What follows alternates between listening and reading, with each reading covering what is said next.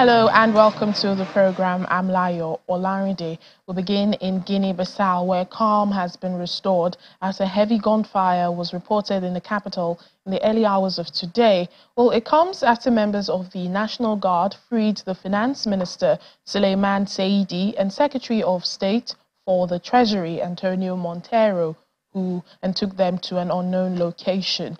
The officials had been detained amid investigations into an alleged irregular withdrawal of $10 million of state funds. The release of the officials came to the attention of special forces who intervened after attempts to negotiate failed, resulting in an exchange of gunfire. Officials have called for calm in the West African country that has suffered a series of coups and attempted coups since gaining independence from Portugal in 1974. Madagascar's constitutional court has confirmed President Andre Rajoelina's re-election after a contentious vote two weeks ago.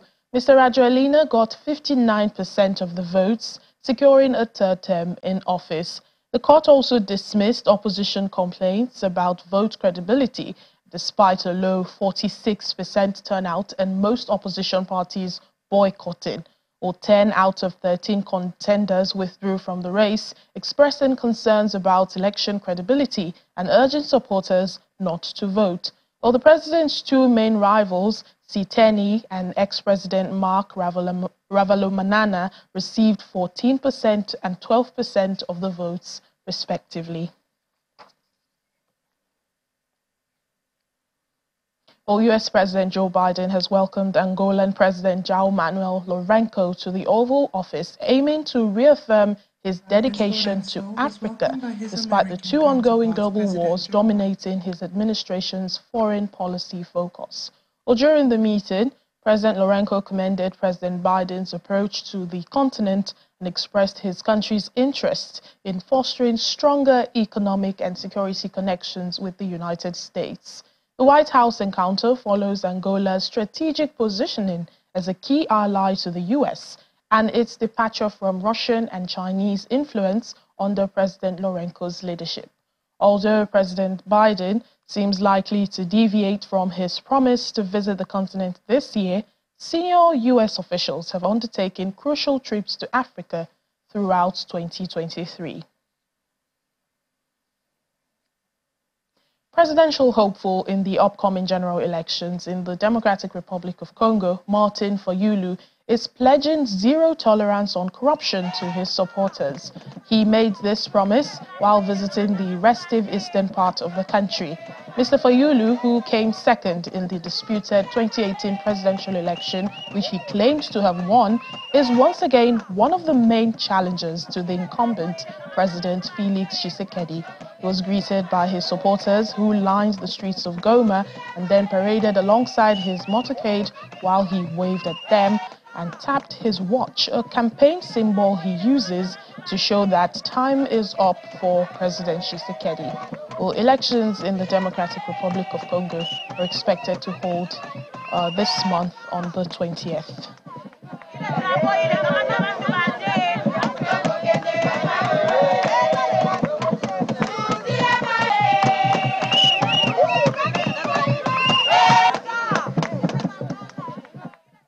Well, let's check in with the COP28 climate summit happening in Dubai, the United Arab Emirates. Britain's monarch, King Charles, is warning that the world is dreadfully far off track on addressing climate change and that the global economy would be in peril unless some things are quickly put in place. In an opening address at the COP28 UN Climate Summit, King Charles told world leaders the dangers of climate change are no longer a distant risk and urged them to take more action. After a year of record temperatures, the pressure is on for this year's summit to accelerate action to limit climate change. Countries, however, are divided over the future of fossil fuel, the burning of which is the main cause of climate change.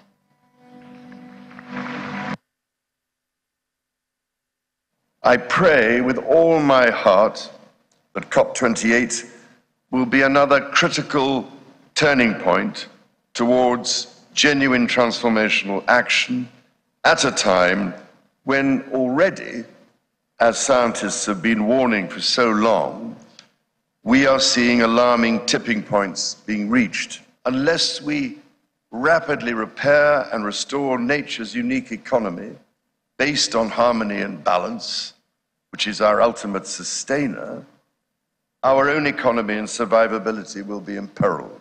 It worries me greatly that we remain so dreadfully far off track, as the global stocktake report demonstrates so graphically. How can we increase investments in regenerative agriculture, which can be a nature not belong to us?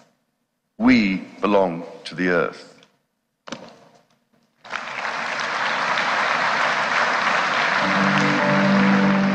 The 1.5 degree limit is only possible if we ultimately stop burning all fossil fuels.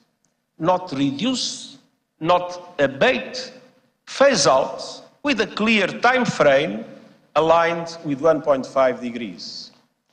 And the global stock take must not only commit to that, it must also commit to triple renewables, double energy efficiency, and bring clean energy to all by 2030. The economics are clear, the global shift to renewables is inevitable. The only question is how much heating our planet will endure before it happens. So allow me to have a message for fossil fuel company leaders. Your old world is rapidly aging. Do not double down on an obsolete business model. Lead the transition to renewables using the resources you have available. Make no mistake, the road to climate sustainability is also the only viable pathway to economic sustainability of your companies in the future. And I urge governments to help industry make the right choice by regulating, legislating, putting a fair price on carbon, ending fossil fuel subsidies, and adopting a windfall tax on profits. Joining us now on the show to shed more light on climate change issues, particularly in Africa, is climate change expert Professor John Osonwa. He's discussing with us from our Abuja studio. Welcome to the show, Professor. Thank you for being with us. It's a pleasure to be here. Thank you. Now, we usually have these climate summits year in, year out. What should COP28 uh, achieve this year in tackling climate change? Uh, well, as we have heard, what we really need is more unified action, bilateral action, uh, with strong political will to achieve what we all see as necessary to save the planet. Uh, right here in Africa, we're looking for more funding, uh, and I'm happy to see that this year, with this uh, climate change conference, Finally, the issue of loss and damage funding has been settled. Already, we've seen about $500 million uh, that will be earmarked, activated for loss and, uh, loss and damage for developing nations. Uh, we also need to see real transformative projects. Uh, there's a lot of talk about climate change these days, but the only way we're going to address climate change is to have real transformative projects that will cut across the whole spectrum of our economy. Uh, and that's some of the things that we're advocating. Uh, we have a lot of resources. Some of the things we deem to be challenges can be uh, tipped. We can reverse them to become our strengths. Uh, and I'm going to talk a little bit more about that in a, in a moment. Well, you've mentioned, you know, uh, over 500 uh, million dollars being earmarked for developing countries. Uh, African countries are in attendance at, uh, you know, this summit. What should be their focus and how can these nations duly utilize uh, this fund? Uh, the focus, as I said, should be on transitioning away from fossil fuel whilst we can uh, a lot of these countries that are producing oil now are moving away. The UAE, Saudi Arabia, some other countries have started their journey to transition. The future of fossil fuels is doomed. Uh, we need to have a firm commitment to phase out, not phase down, phase out fossil fuels. And we can graduate that phase out. I don't care if it takes 20 years. We can begin with coal, which is the dirtiest fossil fuel, and then we move on to petroleum, then eventually we'll move on to gas. Uh, there needs to be a transition away from fossil fuels. We cannot address the challenges of climate change without addressing the fact that we are still putting out over 30 billion tons of greenhouse gases every year into the atmosphere. That is just unsustainable. And we're beginning to see the effects in so many ways. So, African countries, we need to do real uh, projects. Uh, we need to decarbonize uh, a lot of the things that we do. Uh, if you look at the way that we harness our gas in Nigeria, for instance, you have trillions uh, of cubic feet of gas in reserve.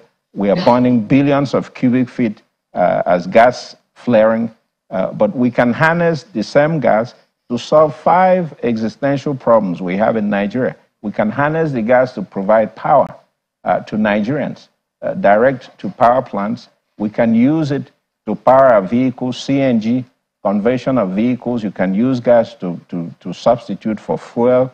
Uh, you can use gas uh, for cooking, which will stop our deforestation problem or, or greatly reduce it.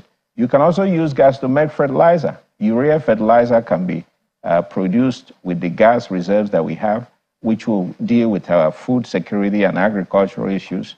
Uh, and then you create employment by doing all these things. So that one resource we have can be leveraged as we transition our way to net zero, can be leveraged to solve five major problems in Nigeria. Oh, you, you've, taught, you've touched a bit on my next questions. We know uh, more decisions will be taken at the summit, even as it continues in Dubai. But uh, how would it uh, affect the average man who is directly impacted by the, the by the effects of climate change? Uh, talking about flooding and uh, other effects that we've seen happen in the past years. Uh, the first thing we need to recognize is that the flooding that we're having now is going to be a recurring phenomenon. Uh, and the reason is because there are climate change factors that we need to reckon with now. Uh, if you look at what is happening around the world, we are seeing increased temperatures. Every year now, we're setting new records. I've already seen the record for this year. We're going to eclipse all the records from previous years, that this year will be the hottest year on record. Record keeping began in 1888 in the US. And since that time, we've never seen a year as hot as this one, uh, uh, which was just the same thing with 2022. We've surpassed it. So, rising temperature is going to lead to some unavoidable consequences. One, you're going to have increased desertification and drought, uh, drying up. Uh, that's what you're seeing uh, north of Nigeria now. The desert is encroaching into Nigeria 3.5 uh, kilometers per year, desert encroachment. We can't stop that unless we take drastic action. Uh, but more importantly, globally, you have the Arctic ice and all the glaciers on the, on the mountains. They are melting at a very rapid pace. Uh, Arctic ice has melted by over half. And we're talking about 30 million square kilometers of ice. Half of it has melted. So it's increasing the sea level uh, and the funny thing about the Arctic Circle is that it feeds all the major oceans of the world. Uh, it, it puts water into the Pacific Ocean, Atlantic, uh, Indian Ocean, and the Atlantic Ocean affects us here in Africa. So that's why you see recurrent flooding because the water does not have the free movement it used to have. The ocean is higher, so the water does not evacuate, particularly in the Bayelsa, uh, Niger Delta region. The water doesn't evacuate as quickly as it should, so it backs up, creates flooding. Then, if you go to the north, the reason we're having flash flooding is because the ground has become aridified, so dry, almost like concrete. So, when the rain falls, it doesn't absorb naturally the way it should. So, those are issues we need to be cognizant of. Uh, so, we need to take action. Floods will become recurrent. I said that in 2012 when we had the major one. Uh, and unfortunately, I've been proven right we are going to have more floods. They will be more devastating. They will be more severe. because the warming temperature is also leading to increased precipitation. Right here in Abuja, we had torrential rain a couple of days ago, highly unexpected, uh, which is one of the uh, consequences of climate change. It leads to what we call weather variability. So we need to take real action. We need to build more dams. We need to harness our youth strength, youth strength uh, to strengthen our shorelines. We need to evacuate people who have historically been flooded. It means they are living on the floodplain. So that's what we can do with regard to flooding. Uh, but in terms of climate change action, since we're on the issue of what we can do, we need to do transformative projects, tree planting projects. We are giving money to so called indigent Nigerians. That should be leveraged to some climate action, which will help us. Those people can help us shore up the, the, uh, the, uh, the shorelines with sandbags. They can plant trees. They can do something. NYSC people, a uh, million of them every year, we can leverage that huge uh, resource we have to deal with our climate issues. All right, then, uh, so much to learn from all that you've uh, just told us. Professor John Osonwa, climate change expert, thank you so much for your insights. Thank you. It's always a pleasure. Thank you. As South Africa marks 16 days of activism against gender-based violence, President Cyril Ramaphosa has expressed his government's commitment to rooting out patriarchy Mr. Ramaphosa was speaking at the African Union's Third Men's Conference on Positive Masculinity in Pretoria. South Africa is co-hosting the conference with the African Union Chair and President of the Comoros, Azali Assoumani. Well, this is on the back of the scathing report presented by Police Minister Bheki Cele showing that uh, over 10,000 women were raped between July and September this year in South Africa. We're meeting in a week that uh, the annual campaign of 16 days of activism against gender based violence commences across the globe.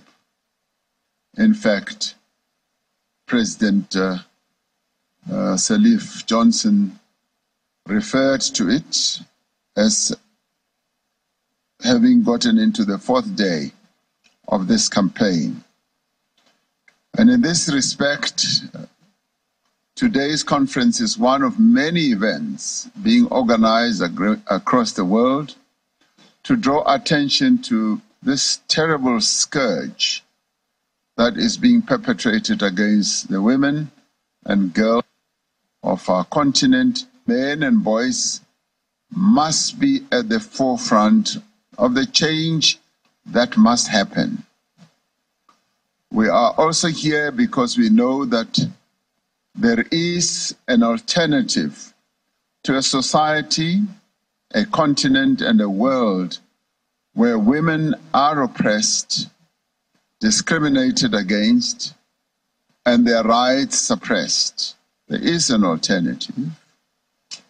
And this conference has been exploring that alternative through a number of presentations that have been made here. What type of world do we seek? We seek a world in which every African man, woman, and child can live in true freedom. Or no fewer than 20,000 refugees are seeking asylum in Taraba State here in Nigeria after fleeing Ambazonian attacks in the Republic of Cameroon.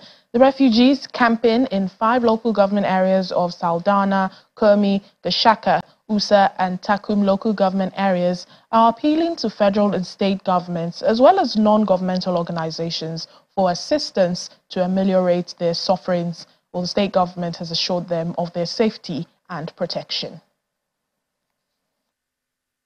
As at March 2020, over 7,000 refugees had crossed over from the Republic of Cameroon seeking asylum in five local government areas of Taraba State.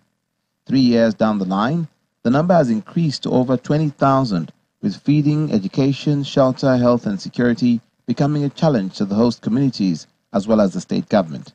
This has overstretched the state government and it has summoned a multi stakeholder meeting for announcement of protection and humanitarian assistance delivery to refugees and vulnerable host community members. As a government, we know that inclusion is the best way to support and prepare refugees so they can help rebuild their lives or their lives when conditions allow them to return back to their country in dignity. After two years of calling for a ceasefire in northwestern and southwestern provinces of the Republic of Cameroon with no positive outcome, the United Nations High Commission for Refugees in collaboration with partners say the number is increasing. According to the United Nations, insecurity, difficult terrain, inadequate health facilities, dilapidated schools and shelter for refugees remains a bane for their efforts towards adequate protection of refugees in Taraba State. I've been noticing so many challenges like not having enough teachers, not having uh, enough classrooms, and that's a big problem. Uh, Your Excellency, maybe you can help us with that. Appreciative of the development partner's role in confidence building, the state governor says his free education gesture covers the refugees also. Represented by the deputy, the governor insists that pockets of insecurity affecting the state is overwhelming. Not a talk of more of those seeking asylum, but he will do his best to foster peaceful coexistence between the two neighbors. To some entertainment news, the second edition of the Edo State International Film Festival has opened with the emotionally charged movie Scar. The Chris Eneng directed film stars Mary Njoku and Uzee Usman in a story that chronicles the chain of events following a religious colored conflict in a remote community in northern Nigeria.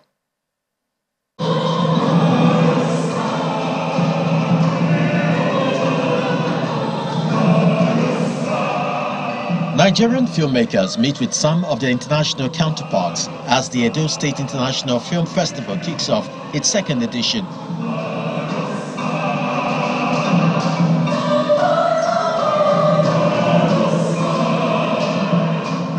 After a short welcome by a local choral group, the evening settles into the business of the day, the screening of the emotionally charged Scar a movie about conflict, love, forgiveness, and vengeance.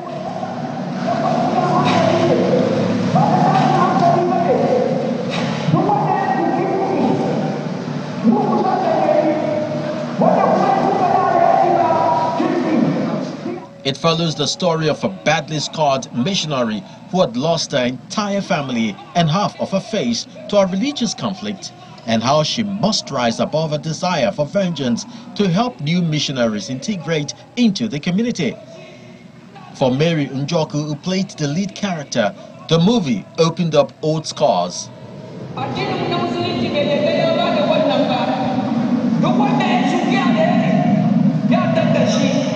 I'm not in that space anymore, yeah.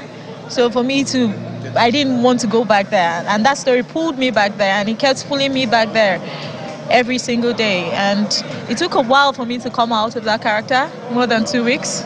You just realize that you're just sad all the time. Like you, everything around you, the costume, the location, the makeup, it just gets you there. The problem is getting out of that character after shoot was a problem. Producer and co-lead cast Uzee Usman portrayed one of the terrorists who has repented and now dedicated his life to living with and helping this card missionary. For him, the movie will help provide a different perspective to the religious diversity-induced challenges in the country. We deem it fit that we should be able to pass that message. We deem it fit that we should be able to do it so that people could be able to learn lesson and intercultural, interreligion marriages. We needed to bring it out so that we'll, we'll make people understand that Christian, Muslim, Hausa, Igbo, all we're all together. The film festival received almost 500 films this year, and according to the festival director, this will catalyze the speedy development of the movie industry in the state.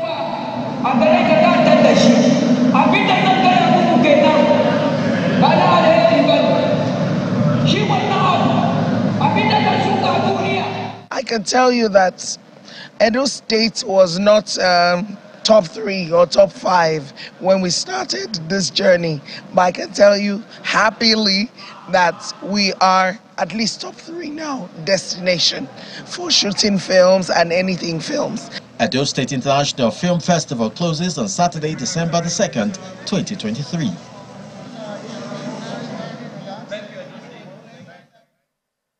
And that's it on the program today. Thank you so much for watching. I'm Layo Olarinde. Have a great weekend.